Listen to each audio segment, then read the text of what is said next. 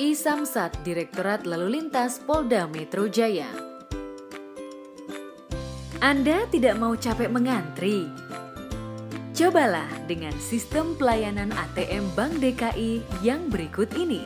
Anda tinggal datang ke ATM Bank DKI di mana pun. Isamsat Polda Metro Jaya mempermudah pembayaran pajak kendaraan bermotor Anda, khusus bagi nasabah yang namanya sesuai dengan bukti kepemilikan kendaraan bermotor Anda.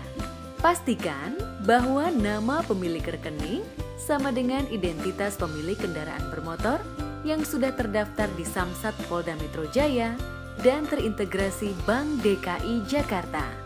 Caranya sangat mudah. Masukkan PIN kartu ATM, pilih menu utama, lalu tekan tombol pembayaran. Berikutnya, tekan tombol PKB STNK, lalu pilih e-Samsat.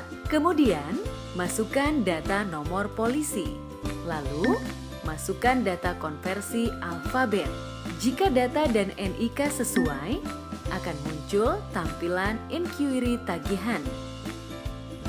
Lalu tekan tombol bayar. Jika inquiry sesuai, ATM akan mencetak bukti resi. Berikutnya, wajib pajak harus menyerahkan bukti pembayaran ke samsat terdekat sesegera mungkin untuk pengecekan STNK dan pencetakan SKPD setelah tanggal pembayaran. Mudah kan? Isamsat Direktorat Lalu Lintas Polda Metro Jaya. Cepat, mudah, aman, dan dapat dipertanggungjawabkan. Promoter Profesional, modern, dan terpercaya